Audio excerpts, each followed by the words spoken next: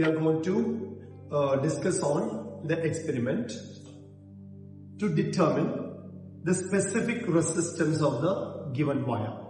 Actually, in this A, there are two, three wires will be given. In the examination, they may give two, three wires.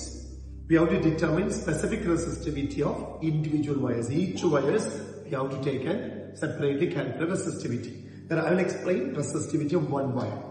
This is the wire given. It's actually 80 centimeter long manganese wire we have taken. It's a resistance wire. There's a difference between resistance wire and connecting wires. Connecting wires are copper wires. Its resistance is almost neglected. We don't consider the resistance into conservation while taking the readings. But resistance of this manganese, nichrome, etc. considerably high values. So we are going to calculate resistivity of this wire. So to determine the resistivity of the wire, formula is rho is a symbol, rho is equal to RA by N. R is the resistance of this resistance wire. L is length of this wire that comes around 80 centimeter. 80 centimeter, we have to take it 0.8 meter. Area cross section is pi r square. Okay, first let us find out R. So this is an unknown resistance. We don't know this value. So usually that value, instead of giving R, we are giving X. X A by N. This is the formula. X is the unknown resistance of this wire, which we have to determine by this method, which is called Ohm's law. Okay. Then A is the area of cross section of this wire. This wire which is wound here. If you take it a straight wire, that will be around 80 centimeter long.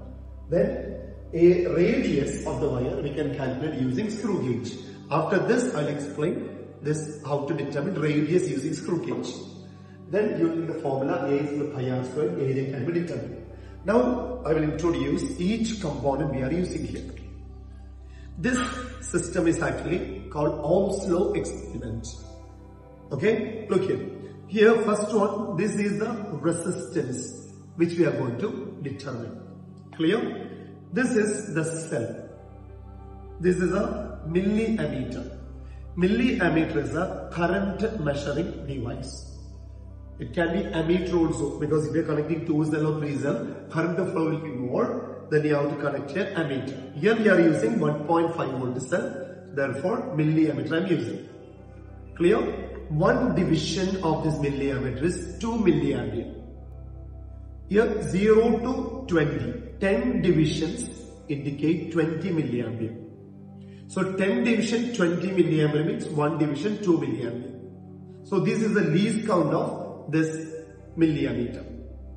Now let us go to voltmeter. Voltmeter, voltmeter 0 to uh, see 100. There are 10 divisions again. So one division is 10 millivolt. Here, one division is 2 milliampere in milliammeter. But in voltmeter, millivoltmeter here, okay, one division is 10 millivolt. Clear? So this is used to measure voltage across this load. This is rheostat. This device is a current controlling unit, current controlling device. If you take here, see here to here, a manganese wire is wound that is ending to this end. So this is just a manganese wire just wound around here. There's a metal strip here. So if you want to increase the resistance, push this to this end. Then current has to go all the way here and come out to see this strip and come out here. Then resistance is maximum. If you want to reduce the resistance, keep here, for example. Then current has to go only through here and it can enter into this copper. This is a copper block, but it's nichrome plated. And from here it will go out. If you want to still reduce the resistance, you have to move here. You see, there only this much distance it has to travel through the magnet wire and the current will enter this metal plate here and go out. So this is the purpose of rheostat which is a current control unit. This is the diagram, rheostat, right? If you move this towards here, resistance is less, move towards that, resistance is more. So that will decrease the current in the circuit. Clear? This is the key. As we know, this is a switch. If you open, current will not flow. If you close, current can flow. So these are the main components of this apparatus. So here, first we are connecting cell. First look at the circuit diagram here. This is the positive terminal of the cell, longer line, negative terminal.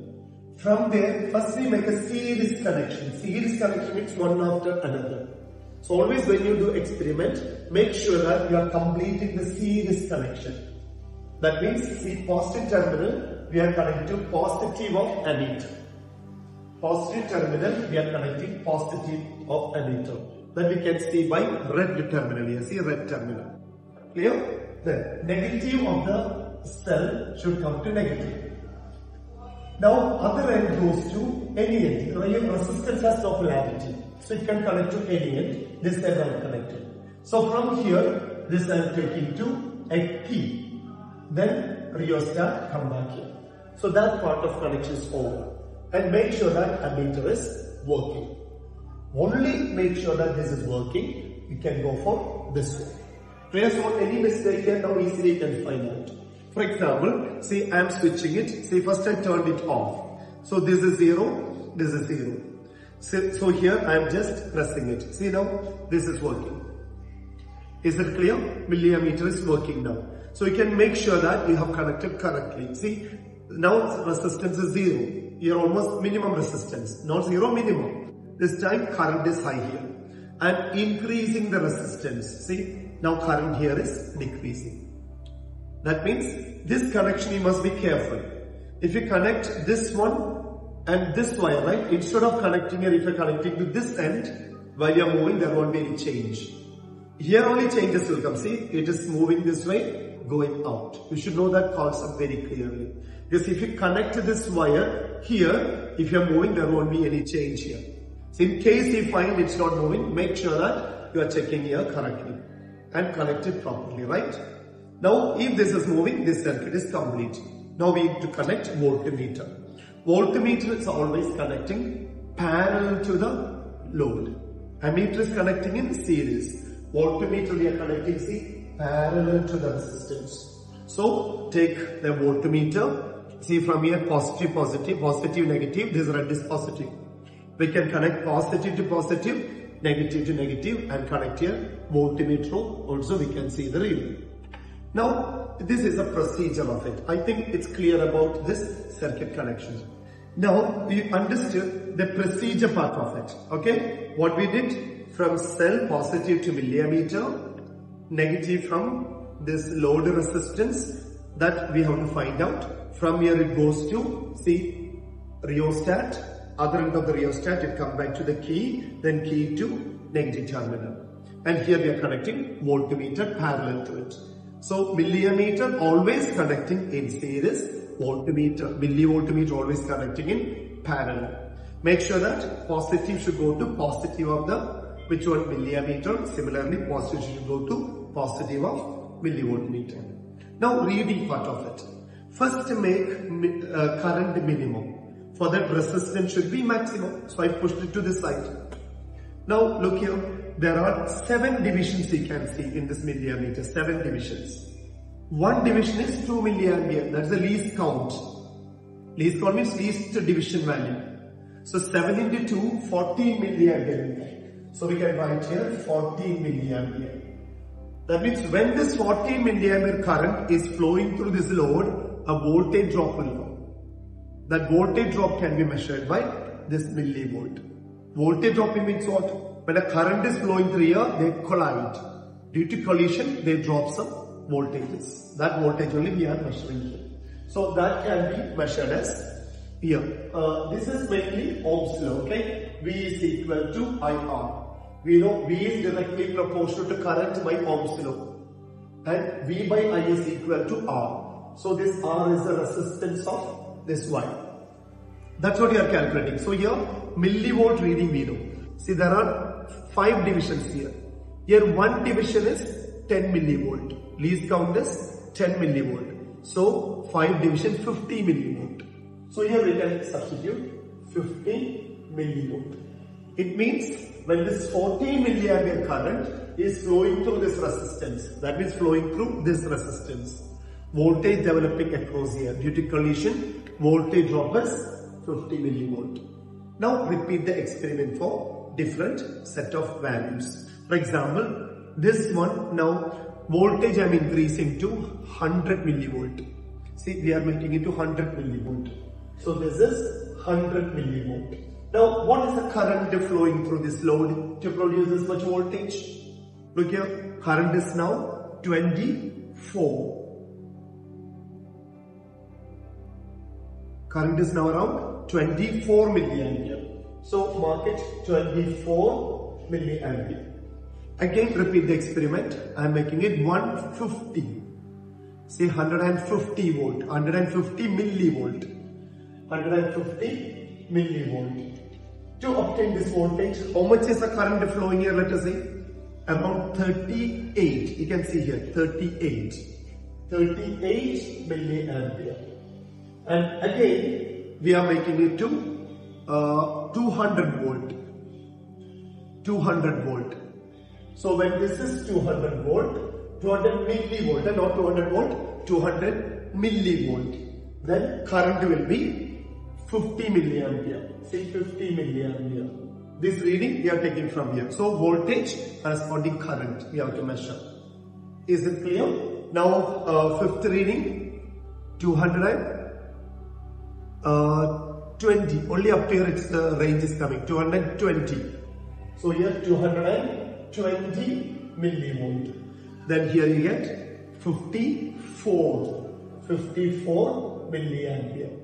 This five set of readings enough. If you can get more readings, you can take more readings. That will give you more accuracy in your reading. Then what we have to do? Here we have to plot a graph. Okay? In a graph paper, we have to do voltage here along y-axis, current along x-axis. After plotting, your graph will be a proportional graph. Take like this, V is proportional to I. Take the slope of the graph. That means from here you will get difference in voltage, here you will get difference in current. So that will give you resistance. Delta V by delta I will give you resistance. So this is the resistance of this wire. Then we are marking as X or, or anything you can mark it. Even you can mark it as R. No issue. So here R is equal to uh, rho is equal to R A by L directly. Clear? Instead of X you can mark it R also no problem. So R A by L. Any doubt in this? Okay. Then after this we have to use a screw gauge. Okay. Using a screw gauge we can find the diameter of the wire.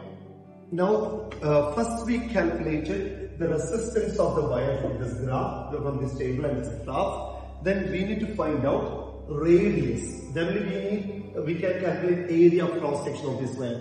Area of cross section. Area of cross section means this area of cross section. Okay. For this, we need to use screw gauge. First of all, we should get to know different parts of the screw gauge. Screw gauge has main components. One pitch scale here. Okay. Here one pitch scale is there. This one pitch scale. You can see readings are in millimeter.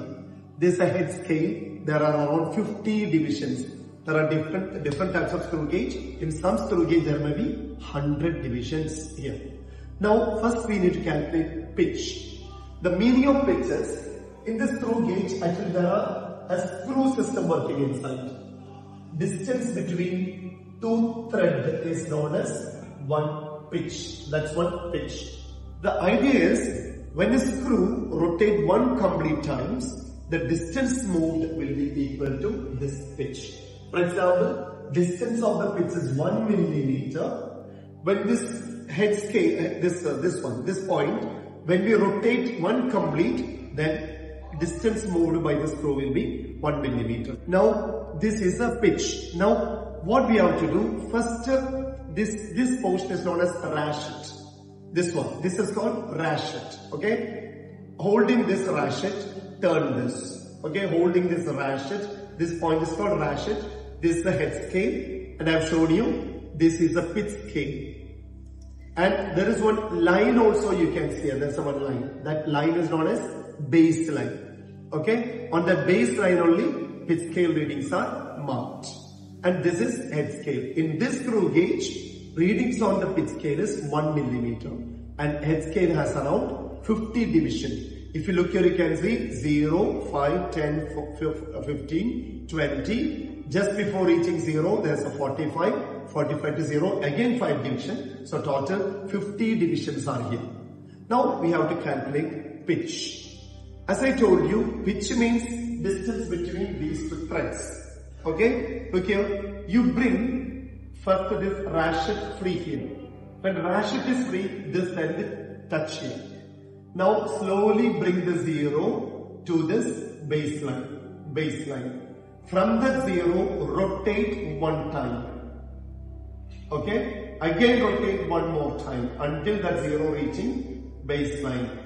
Again rotate one time until that zero reaching again baseline. Now fourth time I'm rotating that zero to baseline. Now you can see distance moved is 2 millimeters. See this above reading, millimeter reading. After zero you can see there are two divisions. That means 2 millimeter. So we can say, okay. So here uh, distance moved by the screw. During one rotation, distance moved by screw is known as pitch. So in this case, four rotations we made. When we made four rotations, distance moved is we found 2 millimeter on the pitch scale. See, when this head scale, we rotated four times. How we rotated four times? First we have to bring this zero, okay, zero along the baseline. After bringing to the baseline, rotate completely here so that it rotates zero, come back to the baseline again. Like that four times you rotate, you can see that this uh, reading on this 2 millimeter you can see. Okay, see here, four times when we rotated, reading comes 2 millimeter you can see there if you come closer and check. Okay, so we can write here distance moved, distance moved by the screw. Distance moved by the screw is 2 millimeter. Okay, number of rotations. Number of rotations is equal to 4. But in some screw gauges, when we make number of rotations 4, 4 millimeter it will Then you have to write here 4 millimeter by 4. In this case, in this screw gauge, distance flow is 2 millimeter, number of rotations is 4 millimeter. Therefore, pitch means what? number, distance moved in one rotation. That's called pitch. So, four rotation, 2 millimeter moved. Therefore, one rotation, 2 millimeter divided by 4. So, it will come 0.5 millimeter. So, for this screw gauge, distance between the threads of two, distance between these two threads of the screw is 0.5 millimeter. But in the case of screw gauge, if you are getting pitch 1 millimeter, then this distance will be 1 millimeter. But this screw gauge which I am using here, for that pitch is 0.5 millimeter. Now we need least count. Least count means pitch divided by number of divisions. Number of divisions on head scale. Number of divisions on head scale. Pitch is 0.5 millimeter. Number of divisions on the head scale is 50. So your answer will come 0.01 millimeter. Clear? Here you can see it is written here 0.01 millimeter. You can directly use this. You don't have to go for all the details here. Directly you can take from here. We need to calculate, this way you have to calculate. First, we have to keep baseline and zero in the same and four times you rotate. Distance moved by the screw you calculate, then distance moved by the screw divided by number of rotations you made, that will give you pitch. Pitch divided by number of divisions on the head scale. Here is 50, some other screw gauge is maybe 100. If you divide, you will get least count of the least count of this screw gauge. It means using this device, we can minimum measure 0.1 millimeter. Now, there is a zero error possibility is there. When you bring this ratchet free, if zero is exactly coinciding with the baseline, there is no zero error. But here, zero is the two divisions down. So what you have to do, hold this baseline facing you, keep this screw gauge upward direction like this, like a pistol, you hold it. Then look at the baseline. If the zero is on the right side, zero error you have to take positive. Okay, so here let us see the zero error how it comes. Okay, look here. So here we can make zero. Zero error. Here you can see from the baseline, zero on the head scale, two division right side. So I'm marking it plus two. This should be multiplied by this count 0.01 millimeter. Therefore, plus 0.02 millimeter is a zero error. Now, how will you take the reading with it? For that, we need to have a tablet. Okay, so here, this is serial number. This is pitch scale reading that is marking as X. Head scale reading that is marking as Y into least count. All readings on the head scale should be multiplied by least count. And this is giving diameter. Diameter. That is D is equal to this X reading plus reading on this plus Y reading. That means Y into least count minus of 0. So in this case, I am keeping this specimen here between this see, here we are placing it tightly here. Like this we are placing it here. Okay? Then look at the reading here. First reading here, when you observe, we find zero. There is no reading here, not even one division. We are seeing only zero. So serial number one, X is zero. Pitch scale reading is zero. You can't see any reading here. Now go to head scale. See this after 45, 46, 47, division is coinciding with baseline. So we can say head scale reading is 47 into least count 0.01 least count. Then you get 0.47. Now diameter will be 0 plus 0.47. So 0.47 minus of 0 error. What is 0 error? Minus of uh, 0 error 0.02.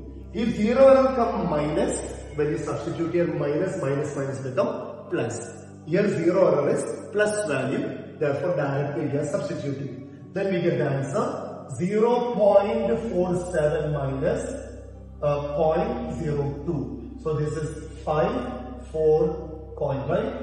Uh, 7 minus 2, 5, this 4, 0.45. So diameter is 0.45. Like this, repeat different portions of this wire. Three, four readings you can repeat from different portions. Keep one here, little more up, little more up. Take two, three reading and mean reading you take it. Mean reading will give you diameter approximately around uh, 0.45 millimeter. Now divide this by 2. So d by 2 gives radius. See, radius if you want d by 2. So it will come around 0.225 millimeter will come the answer. Okay, so this is a radius. Now using the equation, A is equal to, using the equation, A is equal to pi r squared, we will get area. Then we know length is 80 centimeter or 0.8 uh, meter. Clear?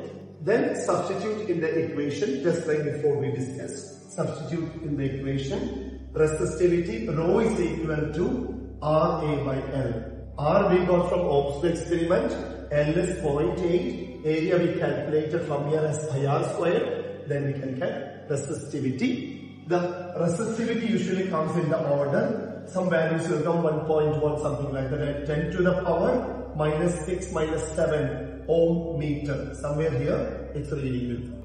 Okay, so this is a resistivity. They may ask you to give two, three materials. So same way using another material also we have to repeat. First applying Ohm's law, we have to find out resistance of the given material and using screw gauge, we have to find out radius of the material, calculate area pi r square, resistivity able to calculate. So examination usually get two materials, you have to find out resistivity of these two materials using Ohm's experiment. Okay, hope you understood. Thank you.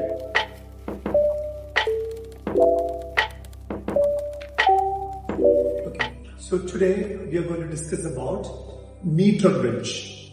Meter bridge is a device used to determine the value of the wire. It is unknown to us. Value of the resistance of the wire which is unknown to us. Actually this meter bridge is working based on the principle which is called Wheatstone bridge. Okay, okay? Wheatstone bridge. This in theory you studied. Wheatstone bridge is a network system in that there are four resistances P, Q, R and S are connected. And in the middle branch there is a galvanometer connected. When we adjust this P, Q, R and S, basically we are keeping S constant which is to be determined. We are making P, Q and R we can adjust.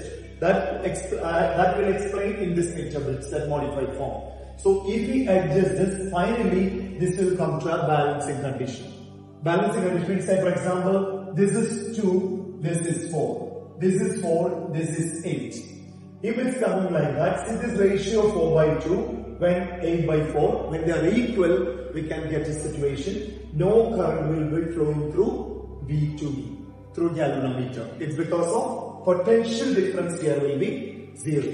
Okay, at this condition, we can say P by Q is equal to R by S. P by Q is equal to R by S.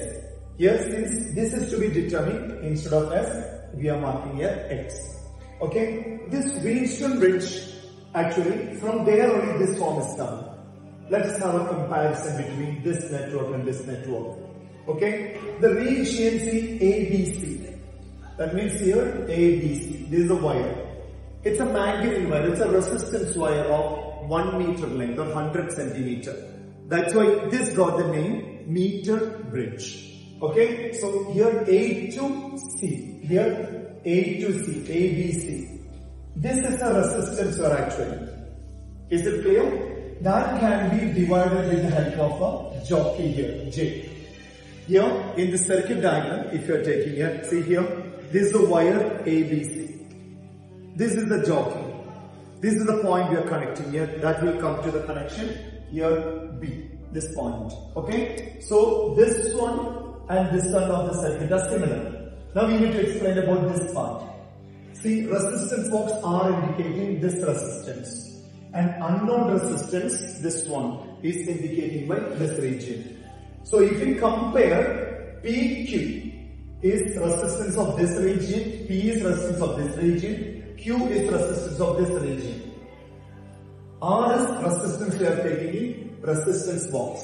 This resistance box and this are same thing. Okay? Then X is this one, S, which we have to determine. So now we need a balancing condition. How can we uh, keep a balancing condition? So for example, this is a resistance wire. 1 centimeter, say 1 ohm. That means 1 ohm per centimeter is the resistance of this wire. So 100 centimeter will have 100 ohm. If this jockey we are keeping at the middle, here to here it is 50 ohm. Here to here 50 ohm. If I am keeping this at 40 centimeter here, then this will be 40 ohm, that will be, that will be 60 ohm. So like that, we can choose the suitable wire here, having a resistance R per unit length.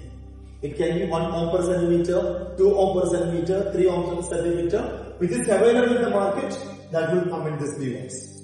Okay? So anyway, that will be constant throughout.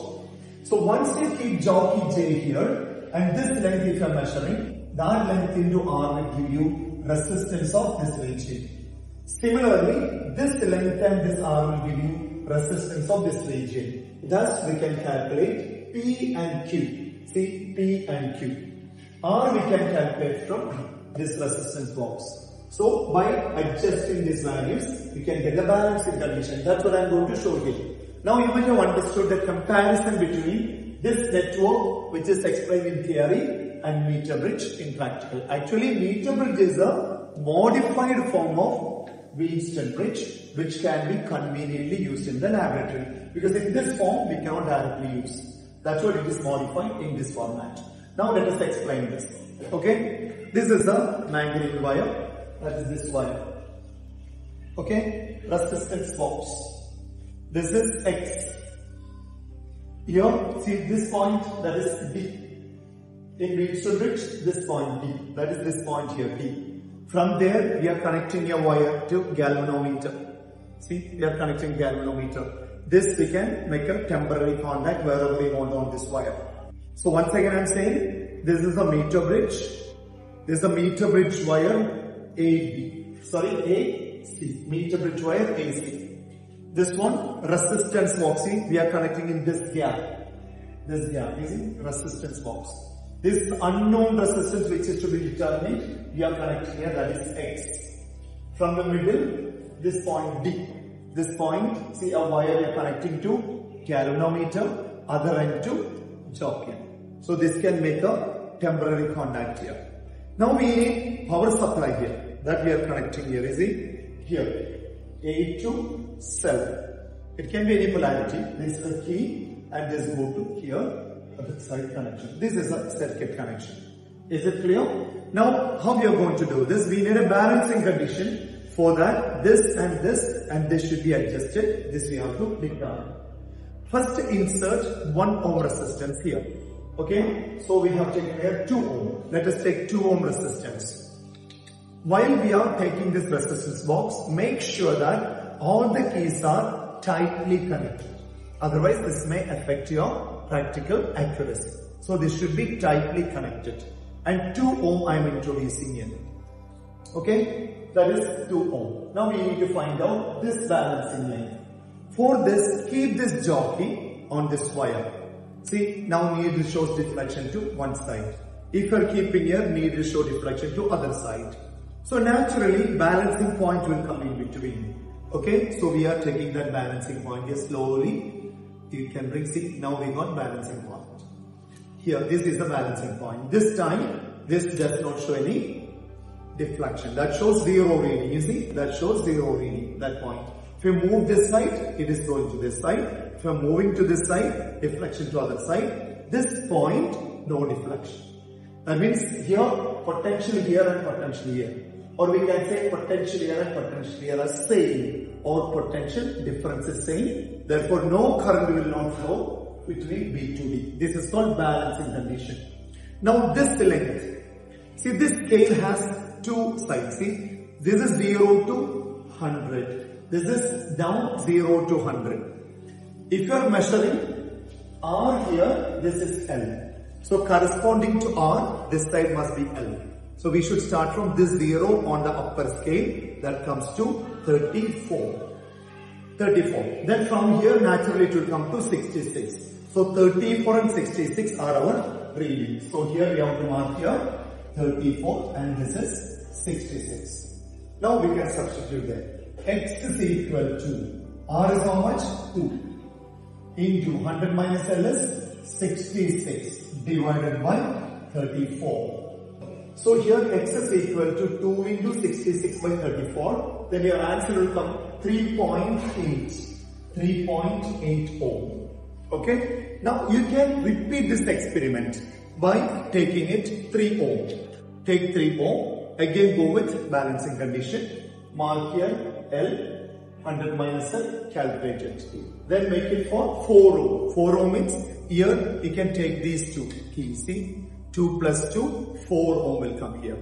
Okay, it's written 2 plus 2, 4. So here take 4 ohm and L you find out. Similarly, 100 minus L, we can calculate. You can see this come almost similar values. This can be repeated for 2, 3, 4, 5, 6 like that. Any number. 5 readings minimum we have to take and take mean value of x. Okay, from here you can get mean value of x. Okay, that will come around 3 point something. This is a method we can calculate resistance of this given wire. Now same thing, next, uh, this is one of the aim to determine the resistance of this wire.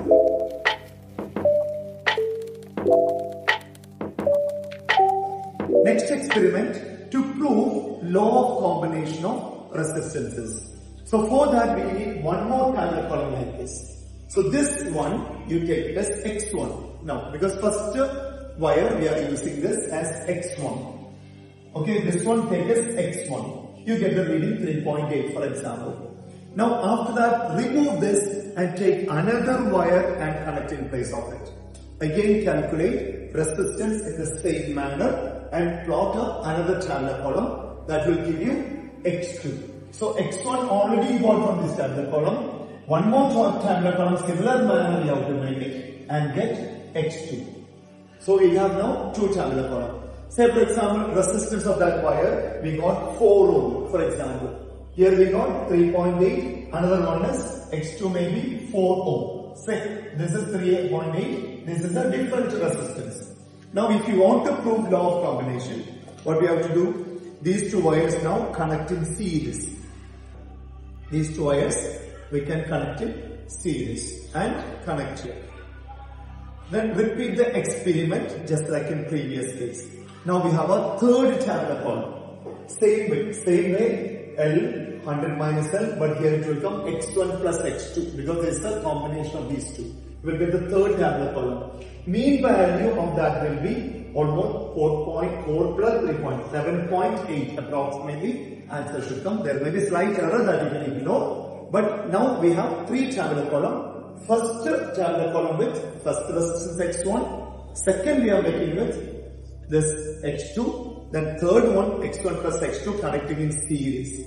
The sum of the answers of the x1 and x2 should be equal to the answer obtained in the tabular column made with x1 plus x2. This way we can prove series combination of resistances. Parallel combination if you want, same thing, x1 and x2 keep the same manner like before but here resistance should be connected parallel. See these two ends we have to fix here like this and we have to connect here, these two ends. Now these are parallel connection. Now we get one more column. This answer should be equal to 1 by R1 plus 1 by R2 is equal to 1 by R. That means reciprocal of the answers. So for example, first x1 3.8, x2 4. So if you want parallel combination, x is equal you can say x1, x2 by x1 plus x2. Answer you are getting should be same as the tabular column from the answer you are getting from the tabular column made with these two resistances. That's why we can calculate, uh, we can prove uh, series combination, parallel combination of resistance also. These are the main experiment connected with meter bridge for your CBSE syllabus. Okay, thank you.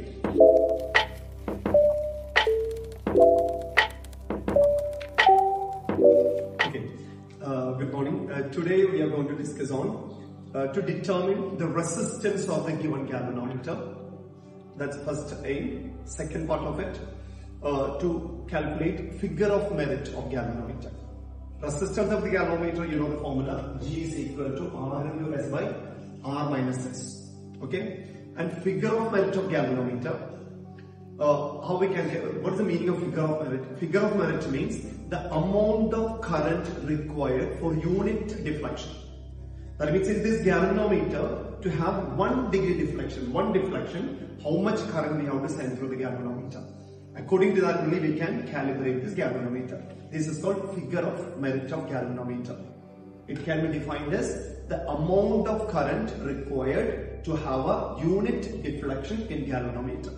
Okay, now let us see the circuit diagram of this experiment. Here we have a cell of EMF 1.5 volt. This EMF of the cell is 1.5 volt. There is a key. Here there is a resistance, okay, R. Here the galvanometer, its galvanometer resistance to be determined. This is another resistance box which is called shunt and is a key given here also that is K2. Now this is a tabular column, serial number, here we are marking 1, 2, 3. First we are going to introduce 5000 ohm in this resistance. This time this galvanometer will show a deflection. That deflection can mark it. Right? First, this key should be open, this should be closed. When you start the experiment, this key open. So circuit has only cell, resistance, galvanometer. Only this is the circuit now initially. This is open. So this SS no role here. This time deflection produced by the galvanometer is theta. Now what you have to do? Suppose this galvanometer deflection is 18. Right? So now take from here around the 50, 60, 70, that range, small resistances. This is 5000 we have chosen. Here almost of the order of 50 to 100 one resistance shows here. Then close this key. Then you can see this galvanometer deflection come to half of this deflection. If this is 60, then you have to bring to 8. For that you have to choose resistance from this shunt. Like uh, 80, 90, uh, to, uh, 100. Like that you have to choose until this deflection becomes half of it. That you write here. Then using this formula, we can calculate galvanometer resistance. So I will show you the circuit connection. See first what we did, keep all the apparatus as per in the diagram. Keep the circuit see, like that there. And the resistance box I kept here. Right? Then what is the name? Galvanometer should be placed here. Then a key right? But the key, take key and connect here along with this one. Key connected. And we are going to just join them first. Okay? Look here. Take this one and connect here. This I have removed for the convenience of connection, okay? Look here, just keep this connected properly. Make circuit connections are all tight. And this one, connect to this point.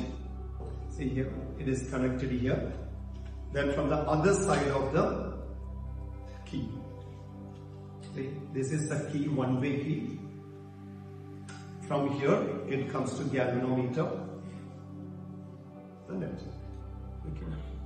From the key, it's coming to galvanometer, connecting to galvanometer.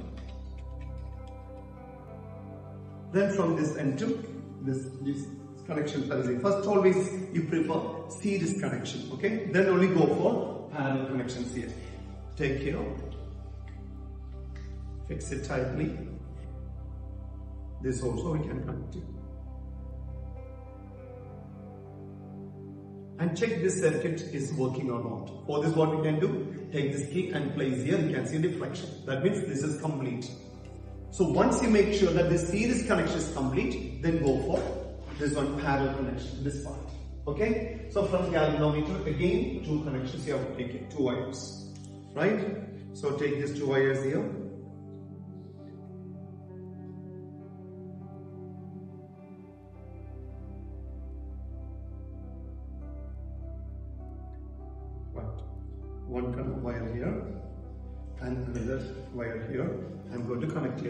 This I'm taking it out.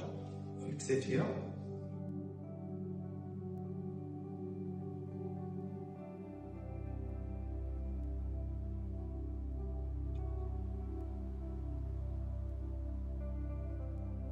So this part is over,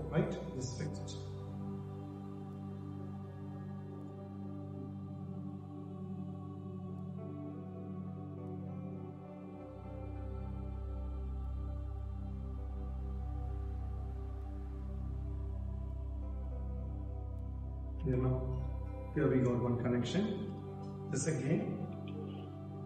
Let me do another connection here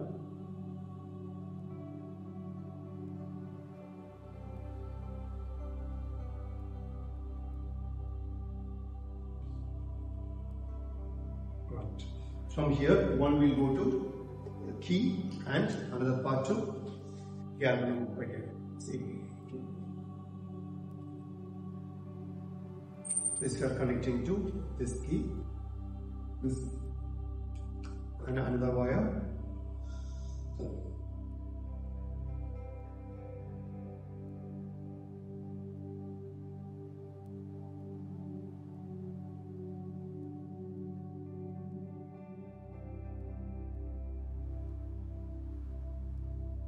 This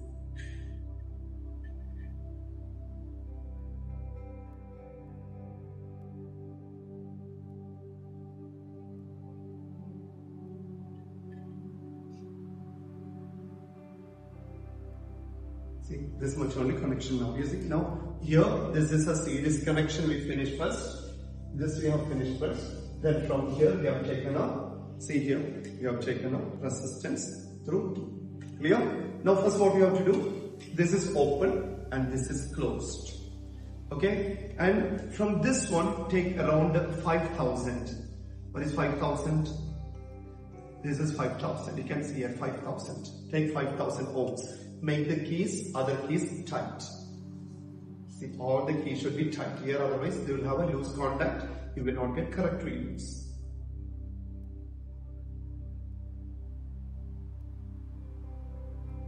And before the examination, there will be a sandpaper we keep over here.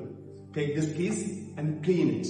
Otherwise this, you know, there is a green color, you know, this copper reacting with air. So that producing a green color thing that causes insulation. So circuit connections won't be complete. Okay, we usually keep, but after 3-4 days again it will come. Because examination is there for many days. So just keep here. First we chose 5000 from. Okay, see 5000. That marking here 5000. Now look at the deflection here. It comes around 15. So 14, we can say 14 here deflection. Okay, then that mark here deflection 14. Now we have to make it 7. For that we have to choose shunt. For that what we will do? Fix here, this one. Right? Then from here I'm choosing around 50. Now it came to uh, less than 8. Then we need 7. So I'm choosing 100. So then it's increased. Okay? I'm taking 20. Now it came back to 7. Now you can see it is 7. How much I chose here? 70. So mark here 70. Shunt is 70 ohm. Repeat the experiment for uh, 6000. 6000 means 5000 plus 1000 here. You see, choose this two. Now this total is 6000. Clear? For 6000, again deflection you can see. Take this out. Okay, only this connection should be there. Again it goes to around uh, 30, uh, 13. It comes to 12. Deflection is now 12 for 6000. Clear? So how much we need here? 6. Is it clear? So again you close this one and repeat the experiment. See that's 6. Again 70. Okay, so this again repeating, it's coming 70 only. Repeat the experiment for 7000. Okay, so I'm taking here, uh, here, yeah, this 2000 I have taken, see? 5000 plus 2000, 7000. Remove this one from here. Now only this connection is there. You can see 10, reflection is 10. Okay, we need here 5. Again, close this one after this, close it. Look here, it's 5. So, see, this will remain here, 70. If slight changes also no issue. If it's remaining constant also no issue. Now substitute these values here, you will get galvanometer constant. It comes around the order of 100 something that value, it will come 100 ohm, uh, in between that ohm, right? The answer is, it comes around, uh, 102, 103, that range. So, write all this galvanometer uh, resistance we calculate here, take mean value, mean value and write. The unit is ohm, right? So approximately your answer will come of the order of 102, uh, like that, that order it will come, almost ohms, right? So next one we need uh, figure of merit of galvanometer, second part of it. For that this circuit is used. So same readings we can copy in the column. Same readings, you don't know how to do again. Right? Figure of merit means this part I removed using only this connections are there. Right? And for that there's a formula. Same tablet column we have to use. Only take this I will tell you. So I'm removing this, I'm drawing the another tablet column now. Okay? The changes. Here we are making another tablet column for this figure of merit of galvanometer. That tablet column here. Serial number. Okay, EMF of this cell. EMF of cell. Right? EMF of the cell 1.5. Then resistance. Resistance. And here deflection produced. Deflection in the galvanometer. Then next come figure of merits. Figure of merit. Figure of merit. Formula K is equal to E divided by R, min R minus G. R plus G, R plus G into theta. This is the formula. Okay. So serial number one, EMF of the cell 1.5 volt we are using. Resistance previously we have taken 5000. That time deflection was in the previous uh, experiment deflection was 14. Take that 14, calculate here. K is equal to 1.5 divided by uh, here resistance 5000 galvanometer. You get the mean value of the previous tablet column. mean value of previous tablet column. That is the galvanometer resistance that comes around 102 under that range. What value are getting from that? Right here. Into theta. Theta is how much? 14. It comes in the denominator. Okay? That comes in the denominator into 14.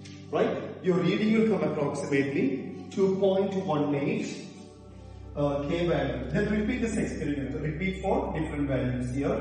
Same 1.5. This is 6000. Then it came 12 and repeat. So for all values you repeat it. These readings you can copy from previous tabular column and calculate figure of merit using this equation. Take the mean value. The answer will come around 2.18 into 10 to the power minus 5 ampere. Ampere per division, right? Ampere per division. Current required for unit deflection. Clear? These are the two uh, aim of this apparatus, objective of this apparatus. Okay? Thank you.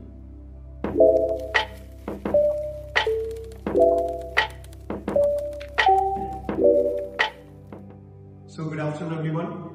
Today uh, let us discuss about how to find out focal length of a convex lens by parallax method. See actually parallax method is the basic idea of parallax method. If you keep this one finger and keep another finger in front of it and close your eye alternate. See when you close left eye you can see the right gap. When you close right eye you will see the left gap. So that you can see these two fingers move across each other if you close your eyes alternately. So here, if these two fingers are together and do the same exercise, you can see they move together. Same method, technique adapting here. Usually, how we do it, we keep a candle here and a screen here. And this is sufficient amount of light refracting through prism forming image on the screen. But here, we don't have a candle, we don't have a screen. So that's why we are using a parallax method. So here this needle acts as an object. This we call object needle. This is a convex lens of focal length to be determined. This is image locating needle. His role is similar to a screen in our experiment we studied in 10th standard. So here first what we have to do, uh, keep this all center. See this needle, center of the lens, this one all in the same line. Here you can adjust it to and fro and we can adjust this also to and fro and this also fro. So that all this should be in the same line. Now first you can see from here, you look into the image needle. Okay? Look, you can see that object that forms an inverted image here. So when object is far, image will be somewhere near to the lens. This is the image locating needle. Now first I am setting this image locating needle coinciding with the image. And if you move your eye this left and right, then you can see there's a gap between image and this needle. Okay? Just see that image moving. See here, that image and objects are having a large gap between them. Now I'll show you after adjusting, this image locating needle will come under the image. Okay, that adjustment what you have to do, looking at that image, slowly move this forward because diminished image will be closer to the lens. So slowly move towards there and keep moving your eye left and right. Finally, you will get these two image needle and then image, both ends are coinciding and move together. See here. Now we can see these two are moving together. Okay, now parallax is eliminated. At this position, image is above this image locating needle. Okay. So now come to the reading point. You can see here, this is a 10 centimeter. This is at 50 and this is now around uh, uh, here 55, 60, around 63, 63 here that point. So here this is 10, this is 50, this is remaining fixed. We don't move it throughout the experiment. And this is uh, how much is coming? 50, 55, 60, 63. This point is 63. Position of object needle, position of lens, position of convex lens, position of convex lens, and here it comes position of image locating needle. Image locating needle, then U, then here it comes B. These are the readings you have to plot here. So this is 50, here this comes uh, 50, 55, 60, 63. This comes around 63. So difference here, 10, 50 minus 10, that will come U, that is 40. That means from 0 if you are taking, from 0 if you are taking, this is 50, this is 10. So 50 minus 10 will give you this distance that is 40. That is called image distance, 40 centimeter. Similarly, sorry, that's called object distance, okay, object distance. This is the image distance here. Okay, the image distance is now 50, 63. 63 minus 50, 13. Is it clear? This is the first reading. Now we have to repeat this experiment by moving this to another 10 centimeters. So this can go to 20 here. So it will go to 20. So naturally when object moving closer, image goes far. So same way repeat this experiment here. So we can take here again new position.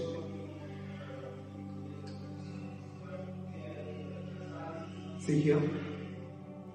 Like this image, again this uh, parallax is eliminated. Now there is no parallax between image and the object. So repeat the reading again for this. So here you will get 20. 20. So this is remaining 50. Now this reading will be how much?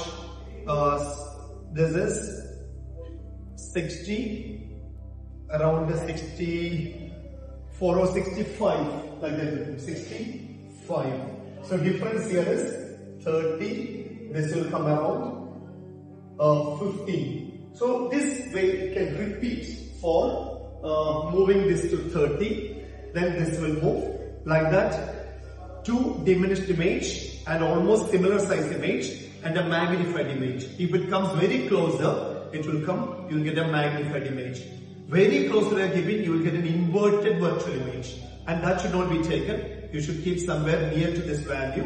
Then you will get a magnified image. So here you get magnified image. You can see here magnified image. So again this is the images moving together. Parallax is eliminated. Okay, so here for this readings you can see this always remain 50, 50, 50. This reading keep on increasing like 63, 65, uh, then it may go to uh, 70 like that. That you have to keep on increasing. This value will increase here. So difference when you are taking you can see U value decreasing at the same time V value increasing. Okay, then here you have to plot a graph between U and V. This is U, image position, this is V, uh, this is object distance, this is image distance. And U should be negative side coordinate should be negative sign. Now plot the graph between u and v from this table. You will get a graph like this. Now exactly 45 degree, mark a line. Here you can see uh, scale should be same on both x and y axis. Then you can see here this value v and this value u will be equal. We know when u and v are equal, object distance and image distance are same, this is equal to 2f. In the case of a convex lens, when object is at 2f, image is also at 2f. That means u is also 2f, image also 2f. This will come around in our laboratory. This lens somewhat around 20 centimeter comes. But still make sure that there are different lenses. You know that there are different lenses. Focal length may slightly vary. For this lens, answer will come around 20 centimeter and f is equal to 20 by 2 that is 10 centimeter. This is your answer. Thank you. Hope you understood this experiment. So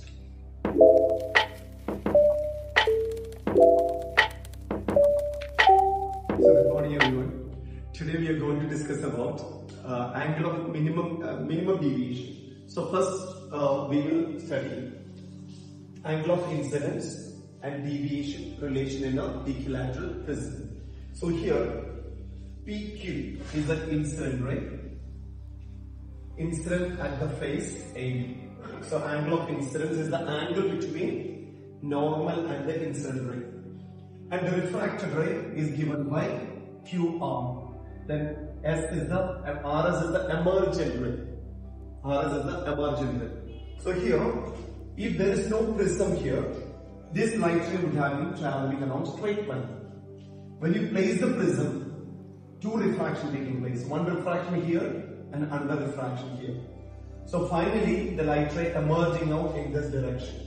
So from actual path, how much it is deviating when it is emerging out. That's called angle of deviation. So this is the direction of incident ray. This is the direction of emerging ray. So this line and this line usually we trace from here extending it towards here. That angle is angle of deviation. So as the angle of incidence increasing, these are the angle of incidence we are taking for this practical. 30 degree, 40 degree, 35, 40, 45, 50, 55. As we are increasing this angle, you can see initially this angle of deviation decreasing. For example, if this is a prism, uh, for example, the 30 degree, if I am giving angle of incidence, the refracted bent very large, you can observe. And this is the emergent ray. So from here, it makes a almost a larger angle of around 50 degree or approximately 48, 50, that range it will come, that value. And if this is increasing, angle of incidence we are increasing to 35, then you can see this bending also reducing a bit. Okay, and here angle of deviation also reducing. See, when 35 is applied, that become 42. Then again we are increasing to 40, 40. This time, this angle of incidence, uh, this refracted ray again becoming little more straighten up. And deviation also decreasing to next point 40.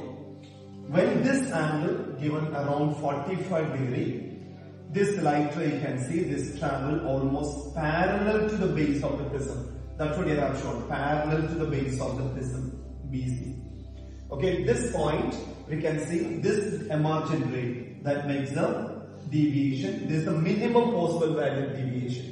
Again, if we increase to 50, again minimum angle of deviation is increasing to say higher value.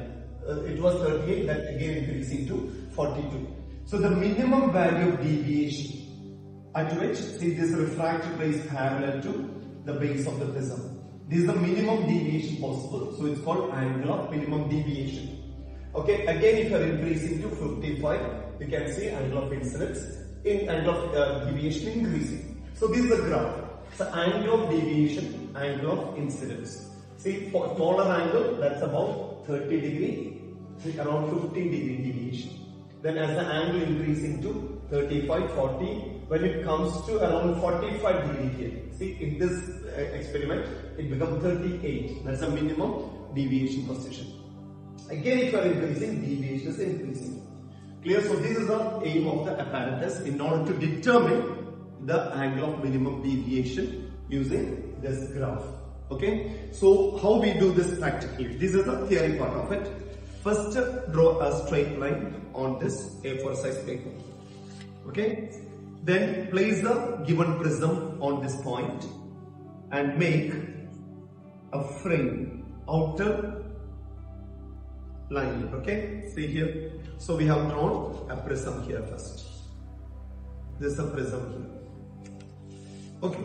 Then what you have to do in this prism first you mark here angle of uh, we need normal first of all. So take a ruler set any line here and draw a perpendicular. See? A perpendicular line. So this can act as a normal to the surface. Now which is angle here first we need 30 degree. So keep this one with respect to normal. See this base of the protractor? With respect to we have to measure the angle. The base will be along the normal. Okay, so this point should come to this point. See this cross line should come to this point and see along this line. From here measure 30 degree, 10, 20, 30 degree I'm marking. From there uh, incident ray we are drawing. So this angle is 30 degree. Now keep the prism here.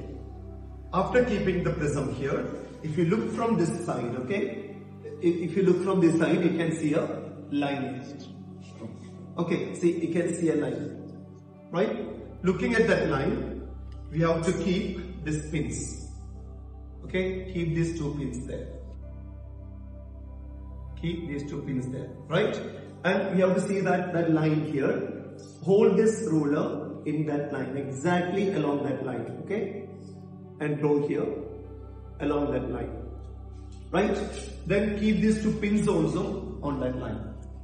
So that it looked like actually this line after deviation appeared to be coming this straight line. Is it clear? So these two pins also you will see in this line.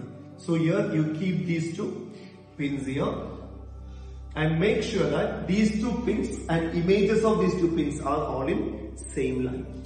After that, remove this and from here draw a line.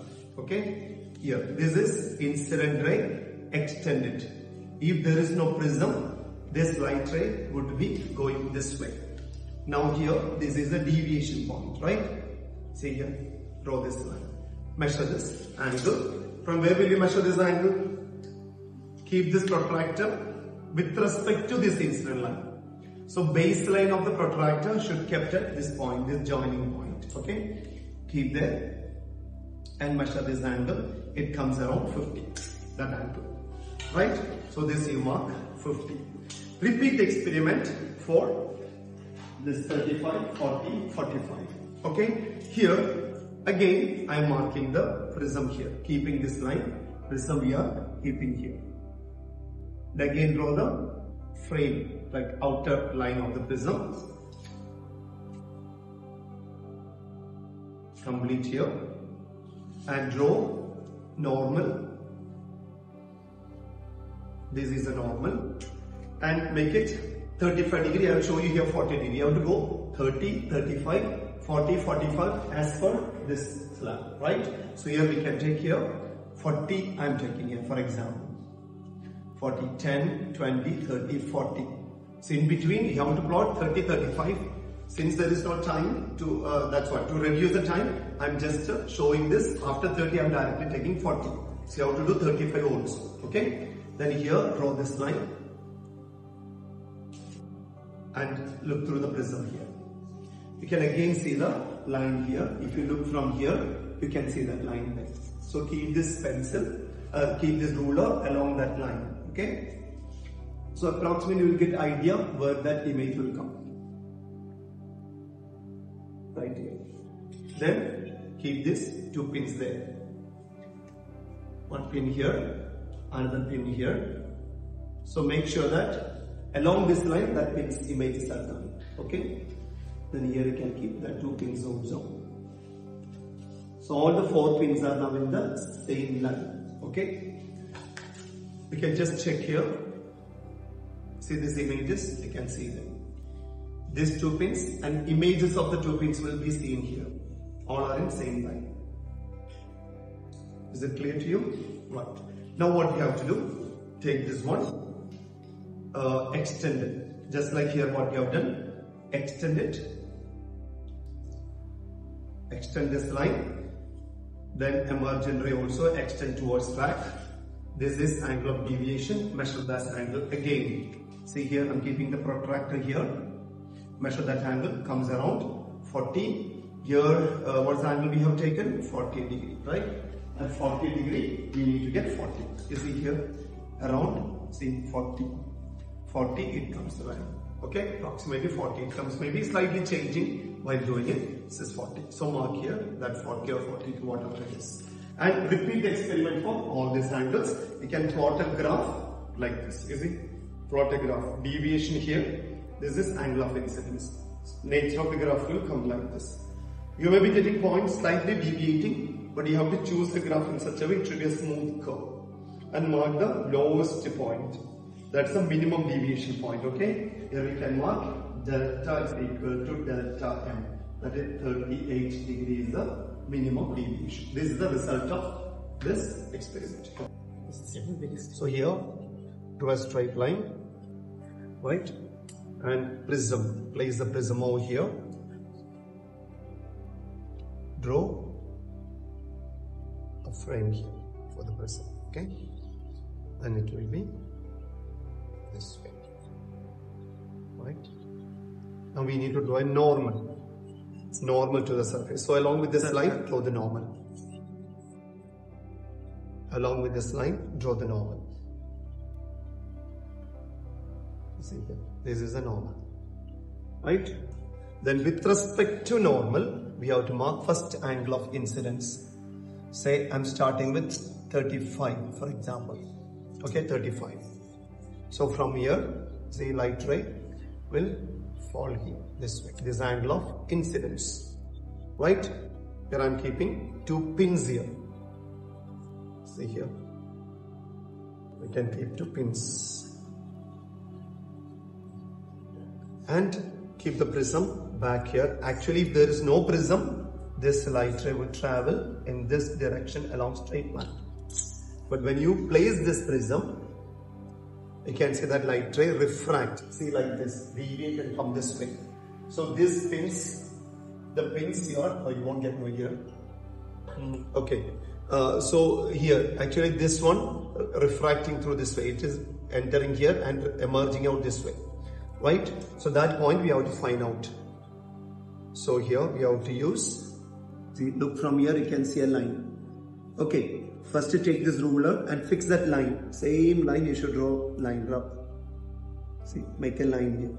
First of all, okay, you can make a line. And keep here two pins. Along with that, keep two pins here. Right? Then if you look from here, these all four pins will be same line. This image you are seeing, these all pins are in same line. Okay? Now this is the incident ray, this is the emergent ray. Right? Now join this emergent ray to this incident ray direction. See here, they're joining it. Right? So this is the angle of deviation. Measure that angle of deviation. This is now, we have taken 35 degree. You have to start from 30 degree. Now I have taken from 35 degree. And see this point you fix here, base of the uh, this protractor.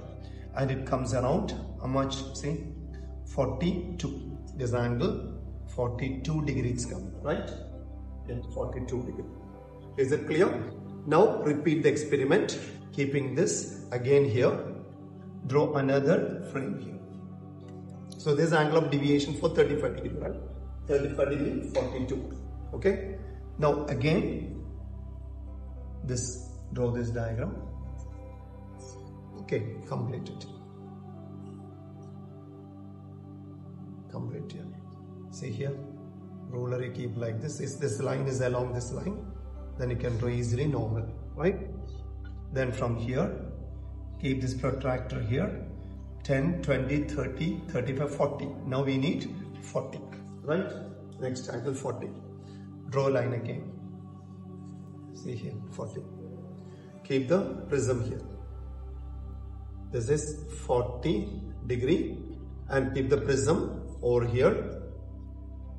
Look at this side. You can see that line. Keep the ruler and make a line along the same line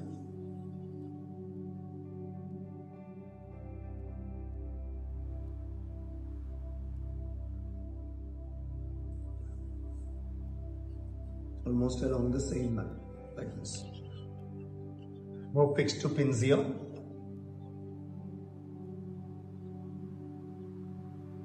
Fix two pins here. Then you can see that the image of the pins. So this line which I have drawn, so up, up there, now it's going to be correct. Take one pin, fixing that line. Okay. So all the four pins will be in the same line now. So these images we can see here, that pin and this all pins are in same line. Okay. Now take this out, mark this points here, right? Then complete the rings. This one extended the direction of incident ray. This is emergent ray. Angle between this incident ray and this emergent ray give angle of deviation. Again measure this angle when it is measuring it comes around uh, at 40 degree uh, it should be 40 right? So it comes around 40 degree right? So that is a which position? Yeah. Again one more position should go. We get minimum deviation. So repeat this experiment. 35 40 45 50 around 6 readings. Clear? Then plot the graph over here. In a graph paper this plot deviation here current here sorry, angle of incidence here. Then graph will go like this, approximately. So this is minimum deviation position. Is it clear?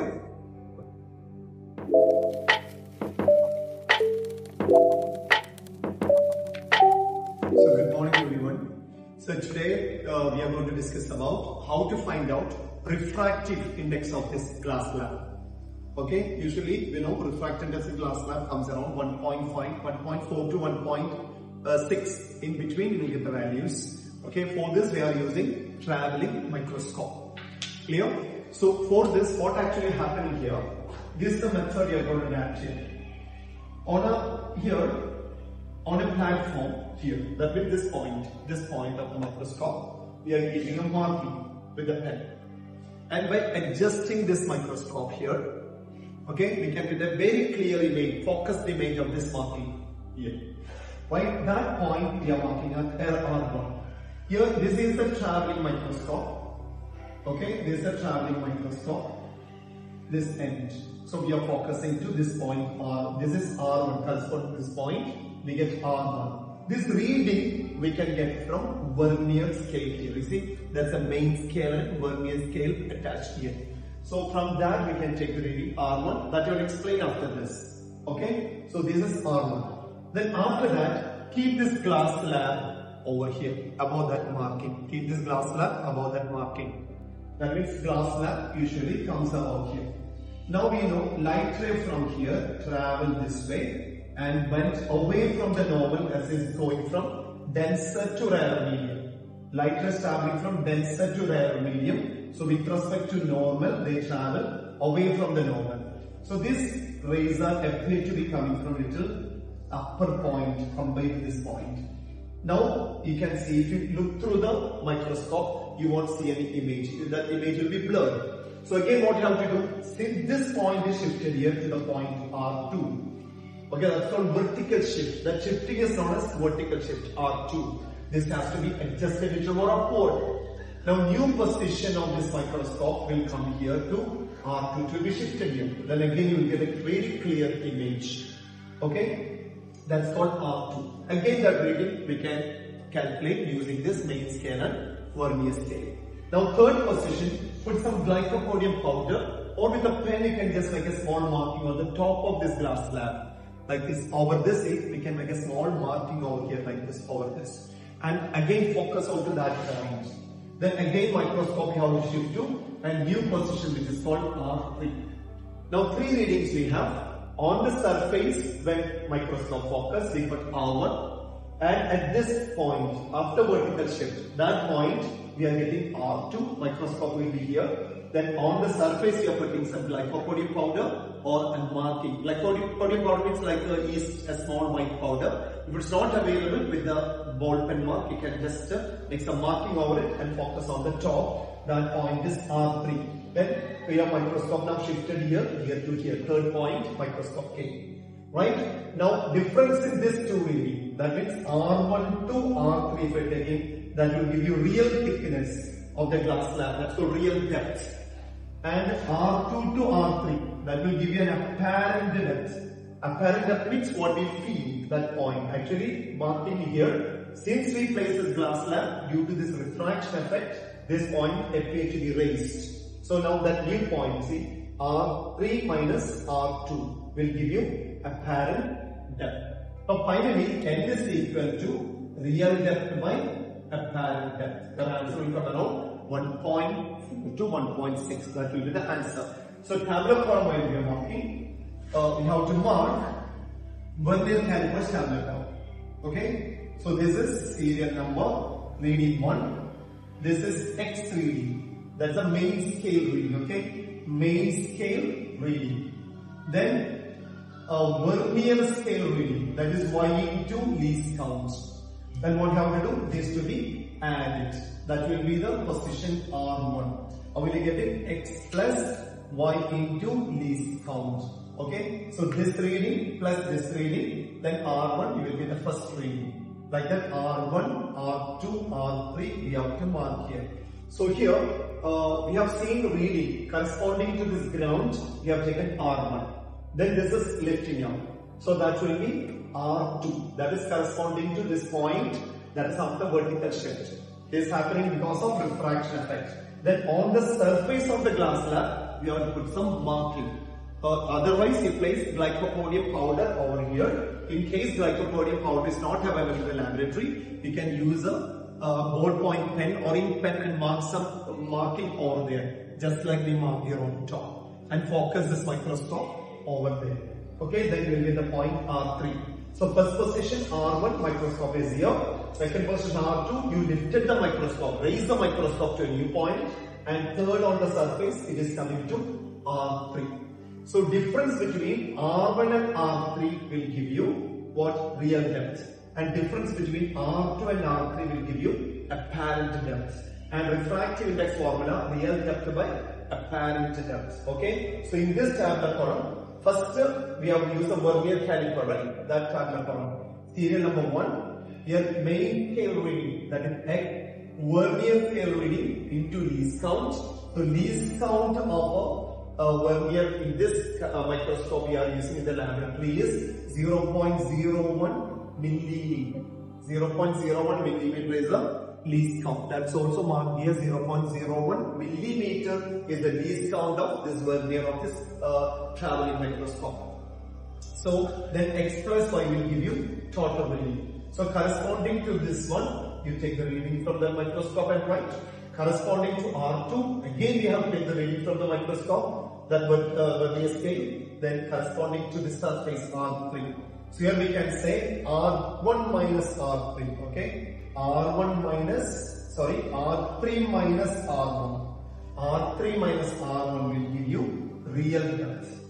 Then R3 minus R2, between these two points, will get apparent depth. Okay, between these two points. That these two readings will give you apparent depth. That means this depth from here to here, apparent depth. Then refractive index is equal to real depth divided by apparent depth. Okay, so what is real depth here? R3 minus R1. R3 minus R1. That will give you real depth divided by apparent depth is R3 minus R2. This point is R2. R3 minus R2. This is a theoretical part of it. Now let us take the reading from here and explain how to take the reading from microscope. Okay. So here, uh, if you're taking this side, see this is two parts of this vernier scale. Right? Once this is fixed, you should not adjust, you should not touch here. Right? So here, see this has one main scale reading and vernier scale reading. Okay, this is the main scale reading and vernier scale reading. Now, first I will show the readings here. First I will take the reading and I'll explain on the board how it's coming up. Okay. Now I set for initial reading. That is uh, coming like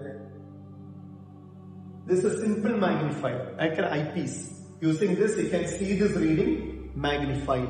For that, this you have to use to See, move to and fro, very close. So according to your convenience, you have to adjust this simple magnifier so that very clear image you will get here. So first you have to take main scale reading. Main scale reading same like in vernier, okay? So first main scale reading I'm going to take it. 13.5. Now here reading comes 13.5. Here it comes 13.5. So here the uh, main scale reading now we got 13.5. So when you look through it, how we have seen I'm going to mark here. In the main scale you can see there is here, say for example, uh, here 0. Then divisions, there's a small division 0.5 and a longer division 1 millimeter. Then again small division and longer, small, longer like that you can see divisions like this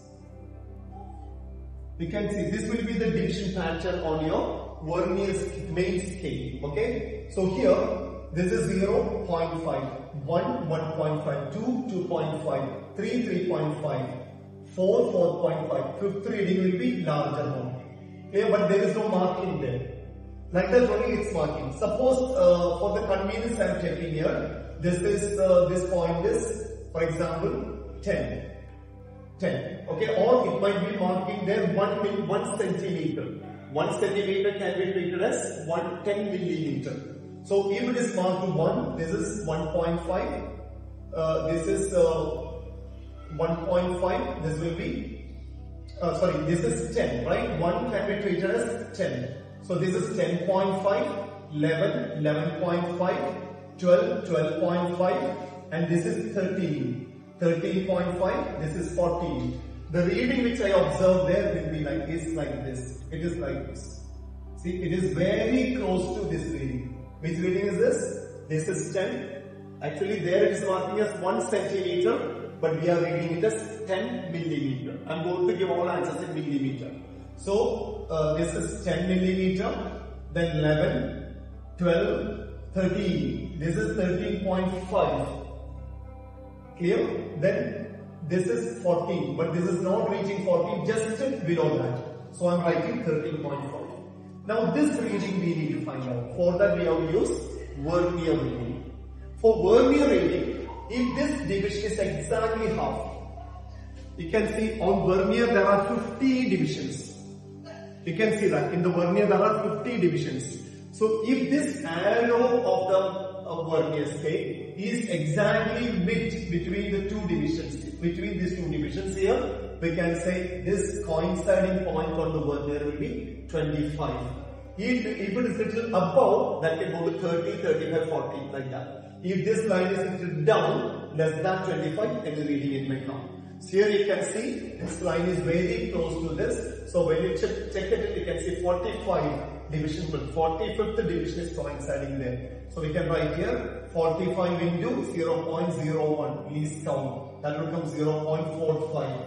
So your answer will come 13.9 uh, 13.95 millimeter or this is a uh, initial reading R1.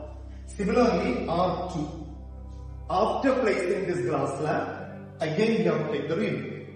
Okay? So after placing this glass slab, now you won't see that image very clearly there. You have to raise it again. See, we are raising it again. Again, I got a very clear reading. See, very clear reading we got here again. Right? Repeat the, I mean, uh, reading here. Right? Look it. Now it's coming 19.5. Very near to 2. 19.5. This reading comes around 19.5. Okay? And vernier scale reading again very close to neck reading. 19 in per it will come to here 13. This is 15, 15, 17, then 18, 19, after that division set will come. Okay, 19.5. Here also around the point 35, 35th division of the vernier you can see is coinciding there. So your answer will come 19.85, 85. Now third reading. Here you have to mark on the top of the glass slab. Here you have to mark on the top of the glass slab some lines. And again I am focusing on the lines.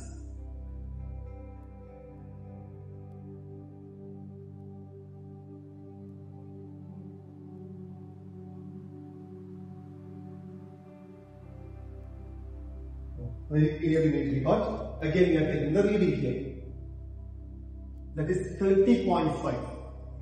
After 3, there you can see 3. 3 centimeter indicating 30 millimeter. After that, one division. So 30.5. There you can see 30.5. Then here almost uh, around uh, that 0 point coinciding somewhere yeah, middle. So 30.5, then around the 30th division is coinciding there. 30th division, so 0.30. So here R3 will be 30.80, 30.80. So from this table, now we got R1, R2, R3, right? So here R3 minus R2, 30.8 minus 19.85 is 16.85 will come. Then uh, net one R3 minus R2, 30.80 minus 19.85 give you 10.95. If you divide it, you are getting the answer 1.53. This is the refractive index of the glass slab. Okay, thank you.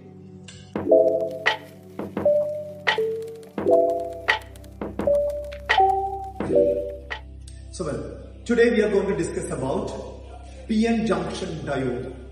First of all, we should know what is the meaning of this. What is this PN junction diode? PN junction diode is an electronic device. Actually, see such a small device. It's an electronic device which maintains current only in one direction or it is called unidirectional current. That's called PN junction diode.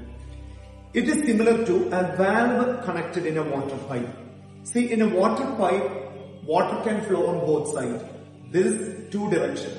If you keep a valve, then current will flow only to one side, opposite side valve will never open. So similarly, this PN junction diode will act in an electrical circuit. If you are connecting an AC here, in AC you know current will keep reversing the direction. But in this case, current will flow only one side, opposite side diode will not permit the current. That theory part, how it happens like that, you will study in theory. So for the timing you try to understand, this device will allow current only to one side. It's almost behaving like a valve in a water pipe. That prevents opposite flow, only one side current will flow. Now let's go back to here circuit diagram. In this circuit diagram, look here, this is cell and a key and a rheostat. Same thing here, see a cell and a key and a rheostat.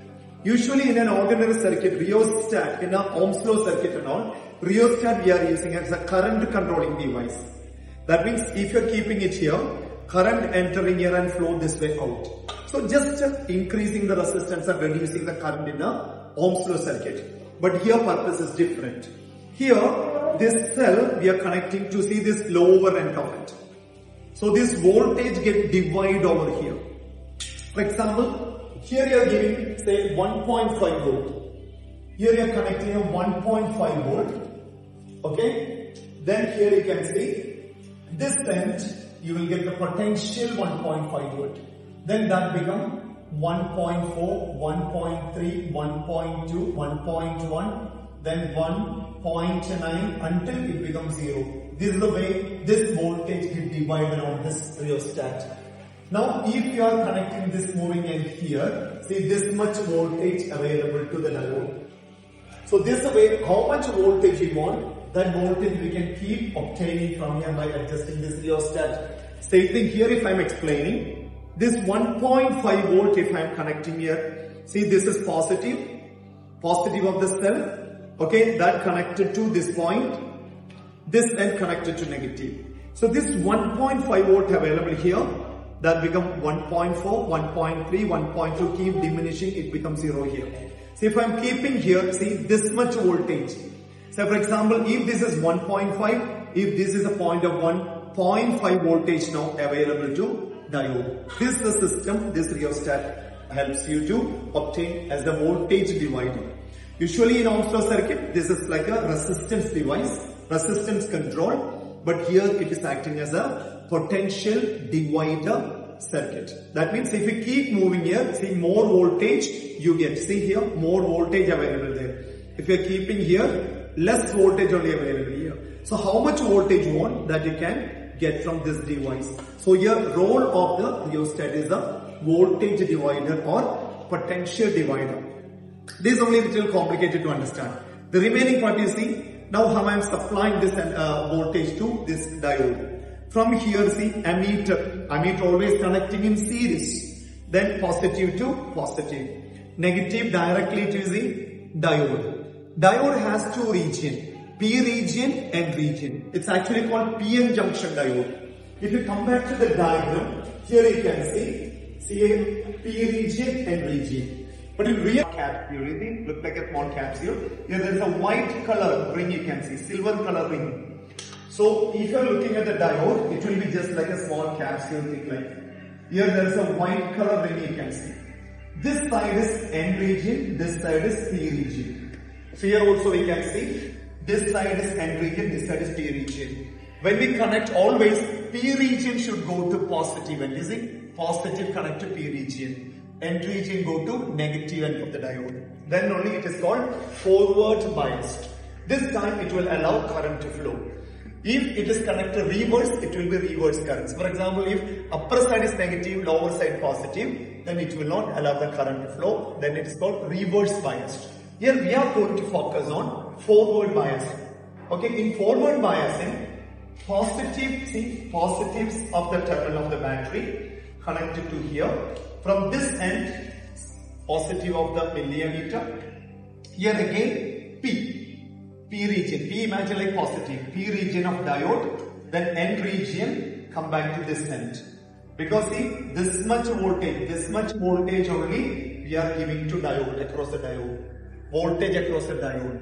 If you want this voltmeter, instead of connecting here, if you want, you can connect here also. No issue. You can connect here also. Because that voltage is positive to positive of the P of the diode, negative to milliammeter, milliammeter to negative. And here voltmeter can connect or here you can connect, it doesn't matter.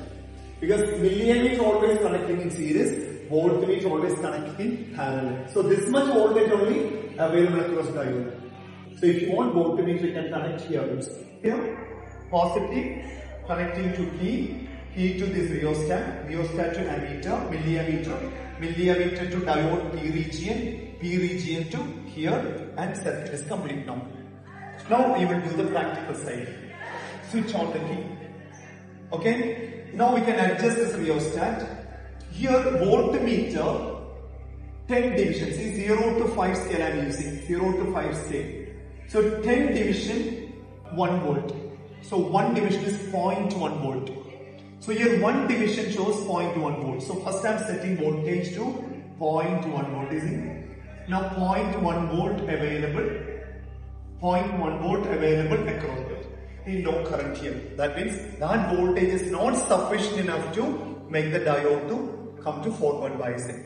So here, serial number one, first is 0, 0, voltage 0, current 0. Second, I'm increasing this to 0.1 volt. Then here we are getting 0 current. Then 3, we can make it see 0.2 volt. 0.2 volt, see 0 current. 0.3, 0 current. 0.4, 0 current. 0.5, again 0 current. 0.6, see slightly deviate, 2 milliampere. See, 1 division, 0 to 10 division here, 20 milliampere. 1 division, 2 milliampere. 1 division is deflecting now. So now here voltage is 0.6. See here, 0.2, no current. 0.3, no current. 0.4 volt, no current. When we get 0.5, then you can see that's a 2 milliampere current flowing here. Now diode start allowing the current to flow. Okay. Next we are going to 0.7. See here, here 0.7. Then here this becomes the around 16 ampere, 16 milliampere here. So this is 7, 0.6 is just 0.1 increase, current 6 suddenly increase to 16 milliampere. Then again we are allowing the current to flow. Okay. Next we are going to 0.7. See here, here 0.7. Then here this becomes the around 16 ampere, 16 milliampere here. So this is 7, 0.6 is just 0.1 increase, current 6 suddenly increase to 16 milliampere. Then again we are increasing to next 0.8. See 0.8, current become almost, see look here 76. So here 8. That means 8th number, serial number, 8th reading, uh, voltage 0.7. This become how much now? Uh, 60, 70, 78, 78 milliampere. Once you got the reading, you can plot a graph. Okay? This is voltage, this is current. If you're plotting, see your graph will come like this. Until 0.1, 0.2, 0.3, 0.4, until 0.7. Here, okay, according to reading while you're plotting, you see 0.6 to milliampere. 0.7 means there's a large increase. Okay, so this way only current will increase. Initially, for smaller voltages, increase in current will be very, very smaller. And beyond 0.7, this is called forward breakdown voltage.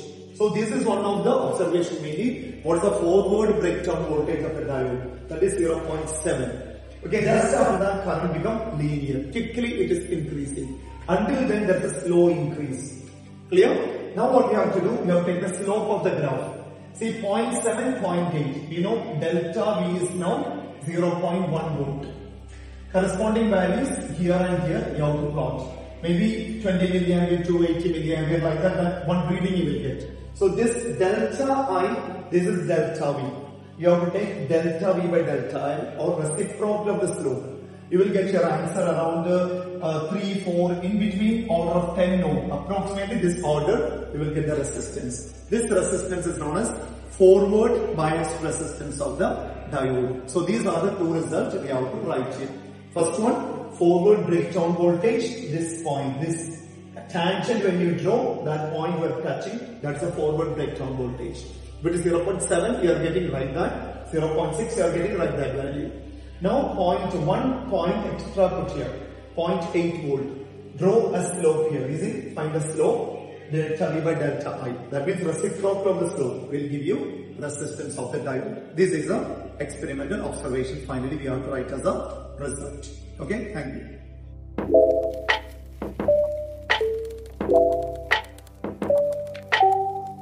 Okay, good morning. So here, uh, in your practical examination, the pattern is there will be two practicals, right? That from section A, one question will come, section B, one question will come. So when you open your answer sheet, there will be two question paper given. First experiment number one, then experiment number two. Then there will be one more part that is activity, right? So here, uh, first you have to finish the practical one, then practical two as per that you have done in the laboratory. Then is activity, mainly they are asking uh, trace a refraction through a glass slab. If such question come, how will you answer this question? We don't have to go very detailed. Same like this glass, a paper, A4 size sheet, glass slab will be provided. So here, uh, the activity, then what we have to do, keep a glass slab here. Same like in prism experiment, draw a frame over here. Okay, then you will get this frame. Okay, is the outline of this glass slab. Mark here. Outline of this glass slab. Then, as usual, we are marking a normal to the surface. We are marking a normal. And using a protractor, any angle you can choose. Usually we are taking 30 degree or 40 degree. How much is convenient for you? Take that angle 10, 20, 30. Let us take 40. Okay? Right. Then from here, draw a line. This is what you have to do in the examination time. You will be provided glass slab and a paper. And this arrangement will be provided on your table. And now we keep this glass slab here and keep two pins here. Keep two pins. Okay? Keep two pins here along this line. You know, this light ray actually it has to go along straight line. So that path you mark first. It is traveling along straight line. But when you play, you can see this light ray will bend towards normal and traveling here and bend away from normal. So there's a lateral shift you can see. That's what we're going to find out here. So looking through this side, you can see the two pins, okay? Then mark the line there. Okay, see the two pins. Along the two pins, keep another pin here. One pin here and one more pin you take and keep it. Clear? So all so that all the four pins are in same line. This image you will see little shifted here because of this refraction effect. Now take this glass slab, mark the points here and complete this line. Complete this line. So actually this light ray reaching to the prism here and refracting this way, you see, refracting to this side. And this is a normal to this surface. Now from here you can measure angle of incidence, angle of refraction here, I1, R1. This is angle of incidence on the second phase, this is angle of emergence. But you are asked to mark lateral displacement in your activity. So measure this distance. This was the actual path, how much it is displaced. Before placing glass slab, light ray was going this way. After placing the glass slab, light ray shifted here. Clear? So here, you can just measure this angle. See here to here, 1.4, right? 1.6. So you can mark here, lateral displacement is 1.6 centimeter. Right here, lateral displacement is 1.6 centimeter. This is the only thing you have to write here and submit along with your answer sheet. So basically, uh, practical, first there are two practicals. Each practical has seven mark each. Clear? first uh, practical when you complete that is 7 mark. Next, again next practical 7 mark. And for this activity, it's around 3 mark. Okay, activity will be given along with the question paper. This is one activity. And one more activity is there. Right? That activity usually they give uh, like this. In the question, it will be given. Some electrical components are given. For example, a cell, rheostat, key, ammeter, ammeter, voltmeter, and resistance. And make a electrical circuit. So Ohm's law circuit, very easy. Just read the question. Connect here a cell and a key and a rheostat. And here you can, anywhere you can connect this milliammeter or ammeter and a load resistance R and complete it. Here you connect a voltmeter. This is the second activity. So any one activity only will be asked in the exam. Clear? So like this you have to write. That's it. This is the second activity. Okay. So first practical 7 mark, Second practical again 7 mark. Second experiment. Uh, first experiment 7 mark. Second experiment 7 mark. This activity according to question 1 activity that is 3 mark. Then investigatory project that you should have signed just at the time of entering into physics lab. It should be completed duly signed from your internal examiner. There will be a teacher from your school will be internal examiner. Okay. Then uh, Viva on experiments, activity and project that carries 5 mark. This project 3 mark. Okay, investigative project 3 mark. Your record and uh, this one project should be completed and duly signed by the internal examiner. That will be your teacher in, in, uh, in charge. Then just at the entry of the practical lab, after submitting this to external examiner, you have to start your experiment. In between, don't forget to attend the Viva because you will be called by your roll number and name in between during the examination and you will have to go to external. They will check around uh, Viva throughout the experiment activity. Almost also, uh, I mean, syllabus it will cover because your practical is almost related to theory also. See meter bridge, resistivity example. Some Viva points I will tell you. See, from first Ohm's law to determine the resistivity of a given wire their question, state Ohm's law. And what are the conditions to obey the Ohm's law? What are the limitations of Ohm's law? That means temperature varying, Ohm's law will not be obeyed. Semiconductors, Ohm's law are not obeyed. So like that, some situations they may ask you to explain. Then what is meant by resistivity? What is conductivity? If the temperature increases, how does the resistivity change? And temperature decreases, what happened to resistivity? What is relaxation time? What are the geometrical factors affect the resistance and resistivity? If two resistance connect in series, what happened? When they connect in parallel, what happens? In household circuits, what are the uh, method of parallel connection or series connection? These are the type of question asking from first chapter, first experiment and even second experiment. Which one? A meter bridge. And in meter bridge, there are some more questions can be asked. State Kirchhoff law of current and uh, voltage loop rule. Okay, does it obey law of conservation of energy?